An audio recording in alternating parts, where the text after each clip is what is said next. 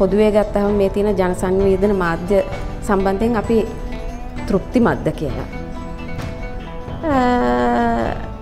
අපි තෘප්තිමත් නැහැ කියලායි මට හිතෙන්නේ. ඒ නැතිකම නිසාම තමයි මන් දැන් අවුරුදු ගාණක් වෙනවා අවුරුදු 10කට වඩා මගේ ගෙදර ටීවී එකෙන් අයින් වෙලා. මන් දන්න ගොඩාක් අය මේ වෙනකොට ටෙලිවිෂන් එකෙන් අයින් වෙලා තියෙනවා.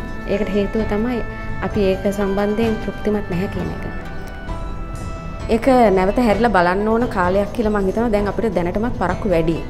ඒක නිසා මම ඕගොල්ලෝ හැමෝටම ආරාධනා කරනවා අලුත් විදිහකට දැනුම ලබා ගන්න රැව් ටීවී එක එකතු වෙන්න. මං විශ්වාස කරන අපි අර විදිහට මාතෘකාවෙන් මිනිස්සු ඇදලා